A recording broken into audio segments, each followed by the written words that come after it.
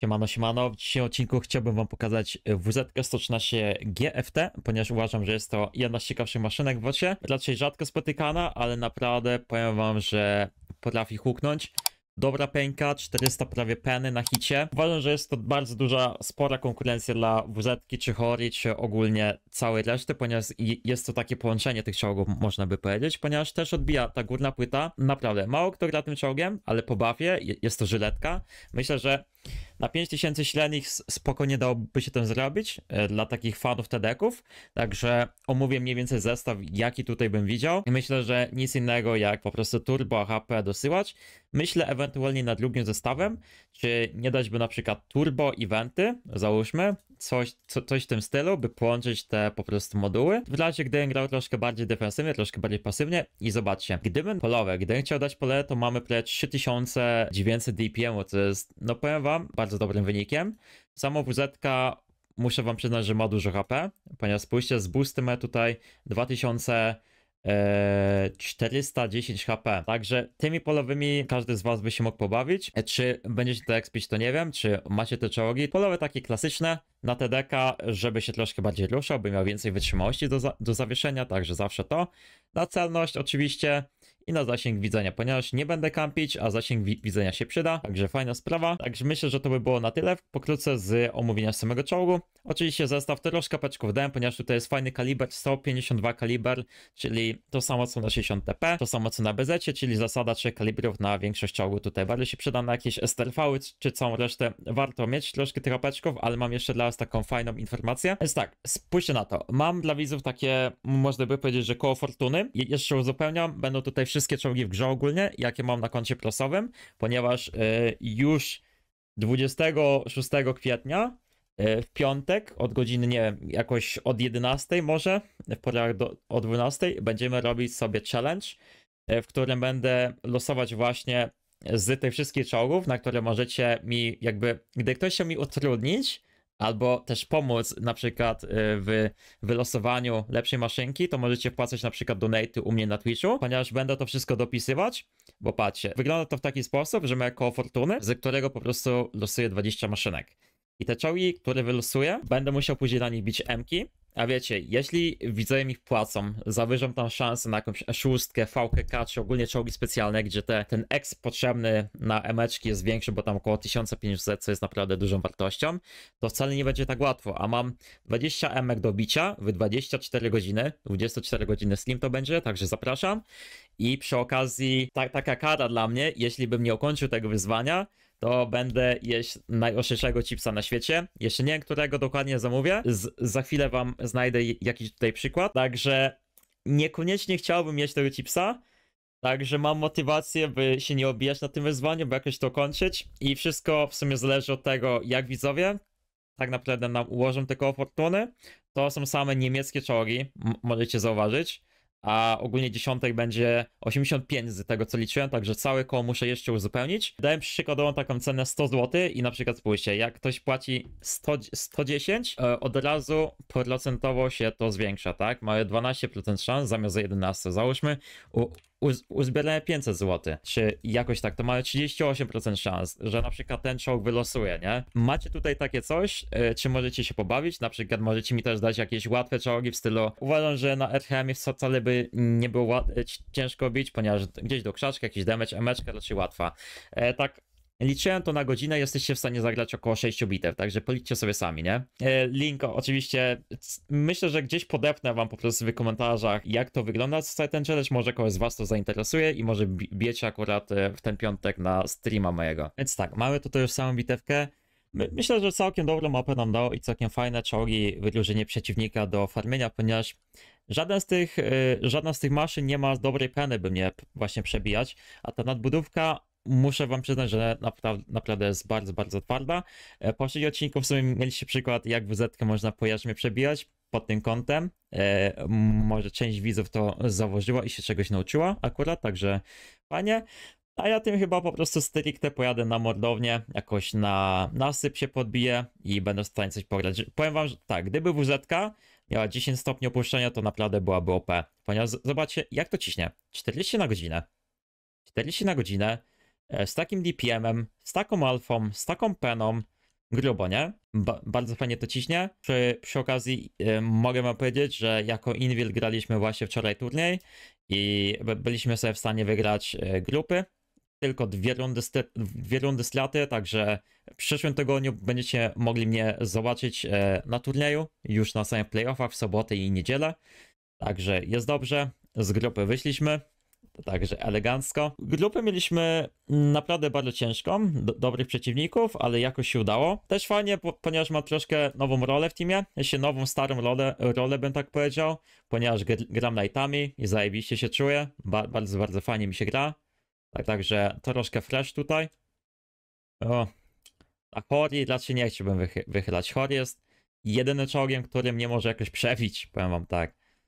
Ale 705 ma ze mną przechlapane, nie? Ogólnie niezależnie jak on by się kontował, to albo mu dam po policzku, albo mu dam po górnej płycie, albo mu dam po poliku, także ma taką lipę.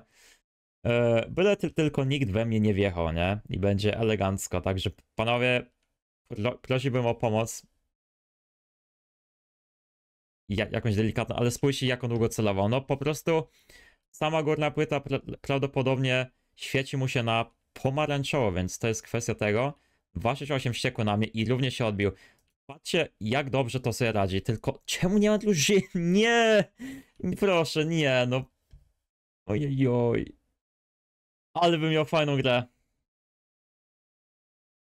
Mi- Miałbym tak fajną gier- giereczkę, tak bym ich tutaj wyniósł, jak hejterów. Wiecie, że to, że to by było 10k? Po prostu gdyby ktokolwiek z drużyny tutaj przyjechał, ale no na samym początku bitwy, no, na samym początku odcinka, nie, najgorzej. No dobra, to się wytnie, to się wytnie. Mimo tutaj delikatnego misplaya, to i tak jestem drugi. Zadałem, oddałem tylko 4 pestunie, a jestem drugi. Rozumiecie to? Zginąłem w drugiej minucie, sama bitwa trwała 5, nie, niecałe 5 i jestem drugi, dobra.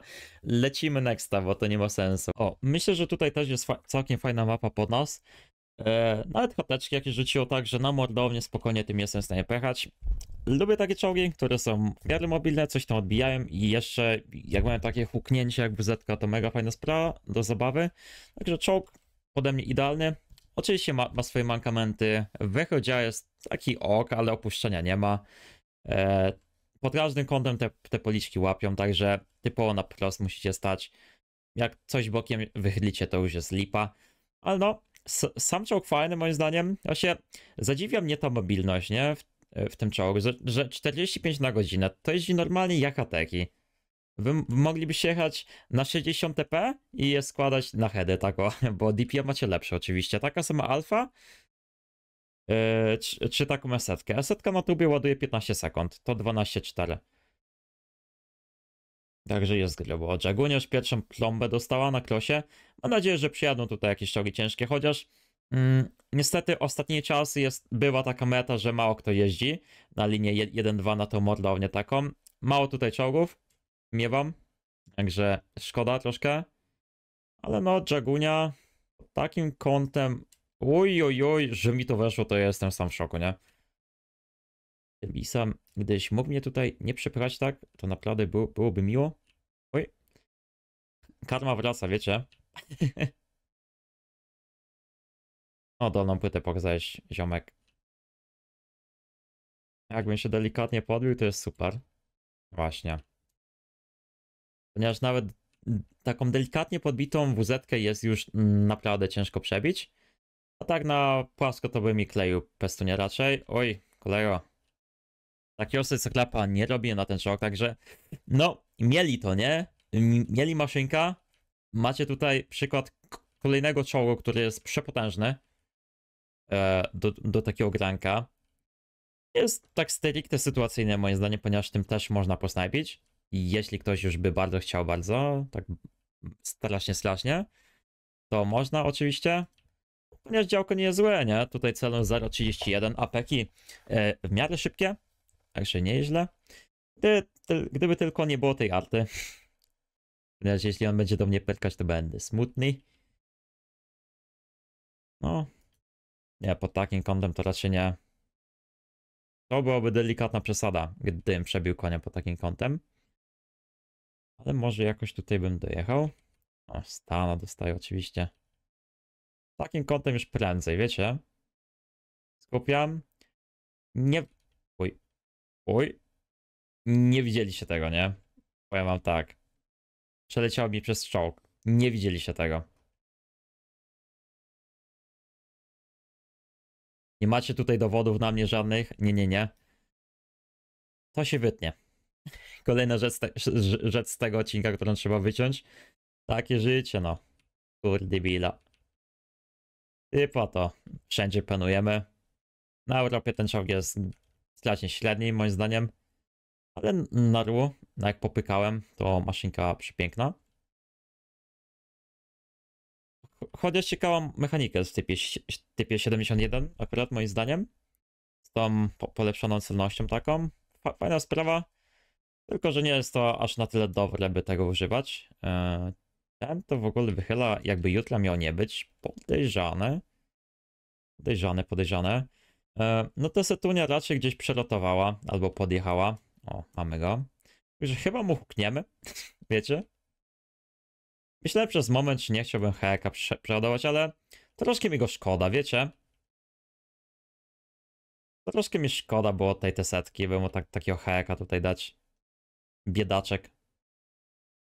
Czy on go tą bezetą zablokował jeszcze? Nie, nie, nie robi się tak, nie robi się tak. Dobra, to tobie damy tego heka za karę. Jak blokujesz teammate'ów...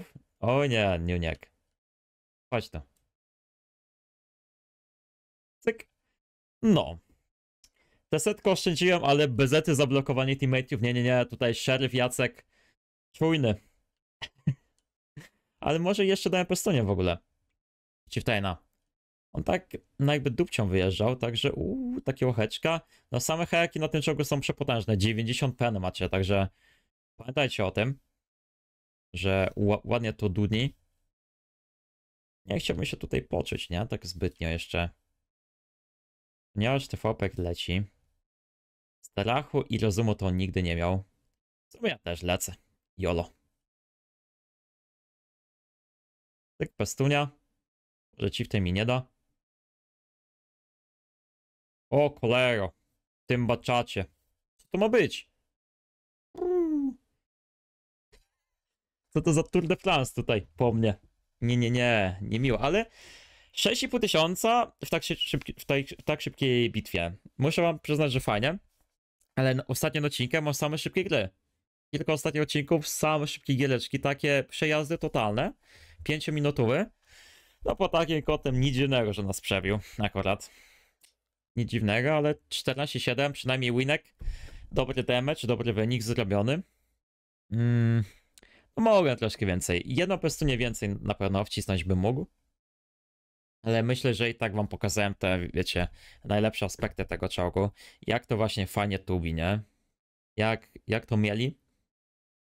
Ponieważ naprawdę uważam, że ten czołg jest dobry. Tak for fun nim jakoś nie gram, bo nie lubię TD-ków, ale dla takich NGR-ów, jak lubicie, możecie napisać w komentarzach, czy lubicie TD-ki, a jak już lubicie to napisać jakie, czy na przykład WZ macie. Macie nawet MK na odcinku. Rozumiecie to? Tak, a, a propos tego challenge'u z MKami, który będę wbijać. Tutaj meczka normalnie, że tak łatwiutko. Bardzo git mapka moim zdaniem.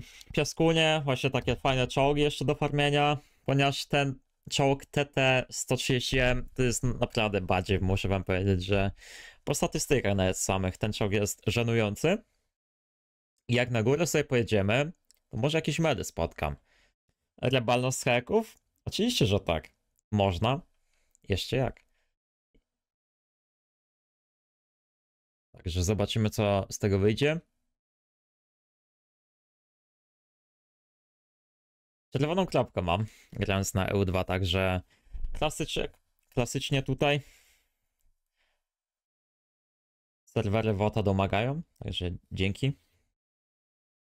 Ale yy, mieliśmy w poprzednim odcinku chyba nawet, jak grałem tym Polakiem na hekach, yy, piaski i tam lotowałem, nie, na dół mapy.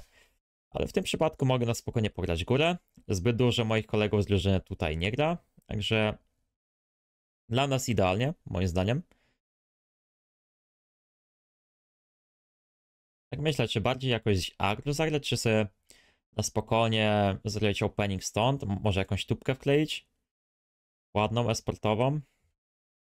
Nie ma opuszczania na to. Także najgorzej.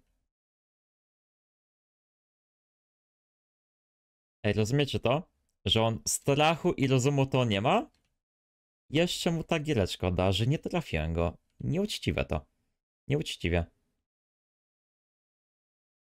Dobra. Eee, właśnie to jest to. Ósme tiery na dwie plomby. wow. E, z- To znaczy dziewiąte. Dziewiątka. Jak fajnie alfę nam polosuje. Ten czołgi z tak dużym alfą są aktualnie w modzie. Dużo osób tym gra. Naprawdę bardzo, bardzo. No w sumie każdy czołg, który ma taką alfę, jest aktualnie w mecie prawie, nie? Jakaś, jakiś Polak. On górną płytą odbija ten czołg? No To się zdziwiłem aktualnie. Powiem wam tak. Każdy czołg z dużą alfą jest w mecie, nie? No to nie jest za fajne moim zdaniem. Ja osobiście nie jestem fanem grania na metę, gdzie, nie wiem, Pudzian wam wali za 1000, albo EFO wali wam one- one-shota, albo nawet jakieś 60 TP wam wali snapy za 750. No, no, no to kurczę nie jest fajne. Zn- Znacznie lepiej się grało, wiecie, w czasach, gdy jakieś magazynki rząd- rządziły, takie TVP-ki, batczaty. Kiedyś to było. Co ten kolega tutaj kombinuje, nie? Czy on by chciał zagrać jakoś może bardziej agresywnie? W ogóle ciekawe, że jako Pluton oni się podzielili. I 7 na mnie wychyli, to będę w szoku. Bo nie powinien. Ale chyba żałuję, że nie pojechałem od razu na nasyp, wiecie? Ponieważ kontrolowałbym te dwa czołgi i byłoby pięknie. Nie wiem, czy nawet w momencie, jak e, spotkałem się z tym kolegą w czołgu TT, to nie mogę tam przejechać. Na przykład zebrać bombę i przejechać sobie na crossa. Znaczy VZ by mnie nie zauważyła. Hm. Nie wiem sam. Chyba peki załaduję, szczerze. Bo może to ma na jakiś taki pancerz, który właśnie umul odbija? Nie mam pojęcia, cho- chociaż na tego hity. Etruje bardziej bym wolał strzelić. Opa! Jakim to, to w ogóle lobem poleciało, widzieliście to? Takiego bobsleja tam daliśmy.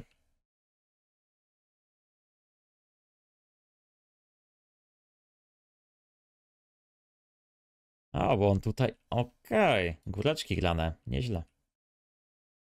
OZT, oj, pudziaku, nie bij mnie, ła, ła. Dobra, git.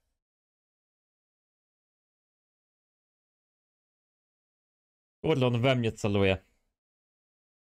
Masz ISA 7 na open totalnie. I on mierzy we mnie. Nie, nie można tak robić. No to jakaś świetna bitewka nie będzie. Na Jagunie nie wychylimy, na ISA 7 nie przyjadę. Hm. Troszkę lipa, muszę przyznać. Chociaż ten cofa.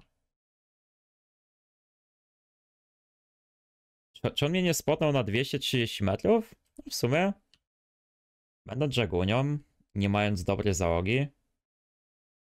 Jest taka możliwość, ale no 400 peny właśnie, 400 peny be like, nie? Przykład idealny. Jak to dudni? Że, przy, że przebiłem VZ jakoś po górnej płycie. Więc nieźle. Puciak może mieć już pestunie na mnie, ale, ale snapika takiego... Uj, podkontencik, tutaj wie, wiecie tak, podkręcić pestunie chciałem, delikatnie. Tak myślę, czy nie mógłbym jakoś do niego przejechać tutaj, go pokleić na szybko. 7, ma ISA 7 na coverze, ale czy i7 to będzie dla mnie jakiś kłopot wielki? Niekoniecznie. A, po... wjeżdża pożarek, podpalmek. Co to jest takie twarde? Ja nie wiem, gdzie strzelać nowe czołgi. nie, gram, nie gram nimi i nie wiem, gdzie do nich strzelać nawet. Co to ma być? Ale skam. Oszukany się czuję. Dobra. To jest odcinek z failami, nie? To jest odcinek z, failia, z, y, z failami. No cóż no. Cała forma zos- została zużyta na turnieju, ok? Dobra, dzięki. Proszę tego nie komentować nawet. Dzięki wielkie. Co to było? Dobra. Czołg dobry, kierowca słaby. Takie życie właśnie, takie życie. Dojeżdżamy tą górę, nie ma siły już. Może Isa się uda jakoś tutaj złapać.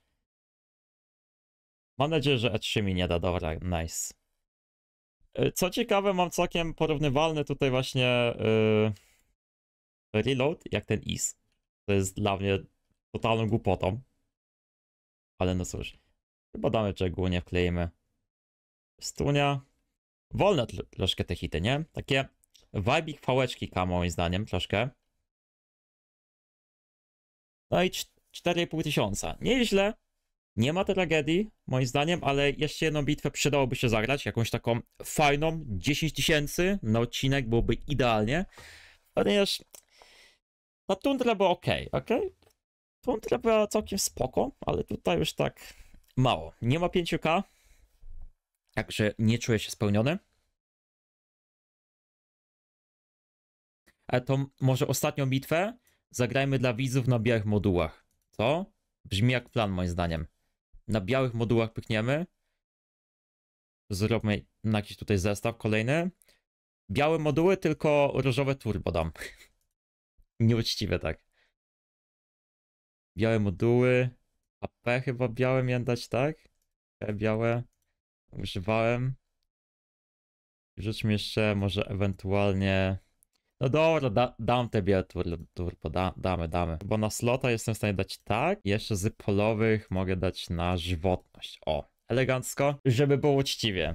Ktoś w komentarzach mi pisał ostatnio, że gram nieuczciwie. Także macie bitwę na prawilnych modułach. Uważam osobiście, że mapka całkiem ok. Fajne hateki w drużynie przeciwnika, ponieważ e, 60 TP, mausik, nawet tego obiekta mogę przebijać z tą peną, także w porządku. Później reload wcale jakoś się nie różni, to jest tam, wiecie, jakieś e, ułamki sekundy. Oczywiście będziemy troszkę mniej mobilni, ale HP mamy delikatnie mniej, no kurde, tam było ile? 2000, e, ile? 410, a tutaj mamy 2360, także to jest, nie wiem, nic moim zdaniem, ale no cóż, żeby było uczciwie. Zapewne ktoś zarzuci w komentarzach, że z jeszcze wale, to to już grzech. Ale no cóż, takie życie. Na tyle sobie pozwolę. Linia Mannerheima na ten show jest całkiem w porządku, ponieważ mamy tutaj takie góreczki, nasypy, z których można pograć nawet jako tako. Pytanie tylko, co ich drużyna wykombinuje, tak? Bo myślę, zastanawiam się, czy zagrać jakoś bardziej z jajem mm, i chyba po prostu wjadę z teammate'ami. Na rogu zagramy na, na wymianę. Moim zdaniem po, powinno być ok. Chociaż tutaj koledzy się tak wstydzą, nie? Tak defensywnie grają. Pytanie, gdzie, gdzie jest Mausik, Mausiora, gdzie dali? Ponieważ ja bym tutaj nawet jak, jakoś tak bardziej z jajem zagrał. Sorry tym isem, ale chci- chciałem sobie przejechać delikatnie. Jakby ten fosz mnie nie przebił, to o, elegancko. Chciałem właśnie w taki sposób na kadłę zbytać, że podbijając się, się ciągle. Ale te skoki śliskie są. Pff, się ślizga. Ale foszem desant. Ej, ucieczka tutaj. Ucieczka od walki. B- będzie fajnie strzelać. Oj tak. Wy- wynoszenie tutaj mamucika będzie. Moim zdaniem. On też ma ciężko mnie przebić akurat. Po co ja paplam takie rzeczy? Yy, do, dolną płytę widział. Tak, tak. Dał tam pikselek po dolnej płycie. Troszkę za bardzo wychyliłem. Wow, znowu. Nie czuję jeszcze tak tego czołgu, by idealnie nim wychylać, by jakoś się idealnie kątować, ale zobaczcie, przyjechałem na mordownię i mamy 3000 już, nie? 3000. Także czołg jest potężny. Alfa jest potężna. E, tylko tak zastanawiam się, że chyba od lewej pojadę. Mm, Nie będę wychylać tutaj po całą tą snajpę. Mamy czas. Ja, jakby wiem, że część z was by widziała aktualnie 5-0. Nie, nie, puszujmy, nie ma sensu stać. Ale ja w takich momentach wolę sobie przelatować na spokojnie. Jak- Jakby w tej bitwie mi damage ucieknie akurat. Także zła decyzja. Ale gdybym tam wyjechał, to miałbym przypał. A tak do lewej pojadę sobie na spokojnie. Często ludzie patrzą na ten wynik, że jest 5-1, ulewają się szybko. Ja sobie wolę delikatnie grę uspokoić. Żaden problem. Jak mniej damage'u zrobię, to trudno, ale w ilu na przykład takich bitwach, i ile mieliście takich bitew, że było 5-1 i, i nagle zrobiło się z tego 5-5? No, ja wiele. Także wolę sobie tutaj przejechać. W rogu prawdopodobnie będzie jeszcze czołg, także może damy sobie pestunie. W ogóle w tym rogu y, miały zostać znerfione te krzaki, a zostają one w takiej samej wersji, jak były, także nie wiem, cze- czemu koniec w końcu Wargaming y, postanowił je, je zostawić, nie zmieniając tam nic. Ale takie życie. Ten na pewno w rogu kampi. Harpiosz czy grzybiarz w krzakach. Jak, jak, jak będą dał jeszcze pistonie, to będzie w porządku. Po moim spocie nawet. No i elegancko. 4200. E, kolejna bitwa 4-minutowa. Chciałem coś lepszego zagrać, ale już trudno. Myślę, że to, że to by było na tyle w tym odcinku. E, mam również nadzieję, że Wam się podobało. E, jeszcze raz Wam przypominam tą opcję z tym kołem fortuny, z tym moim wyzwaniem. E, jeś, jeśli nie podobam, to będę miał niezłą karę. Na, napiszcie, co uważacie o tym wyzwaniu, ponieważ uważam, że moim zdaniem fajny content. Czegoś takiego nie było jeszcze na Twitchu czy na YouTubie, także zapraszam. Na pewno w komentarzu wam, wam podepnę, co i jak, jak to wygląda. Opiszę wam bardziej, ponieważ mam na YouTubie komendę z tym stworzoną, ale na YouTubeko wam gdzieś podepnę. 6 na 6 żaden problem. Dobrze, także myślę, że to by było na tyle. Bardzo wam dziękuję za odcinek. E, Zostawcie koniecznie suba, łapeczkę w górę i ten komentarz i do zobaczenia w kolejnych odcinkach. Siema.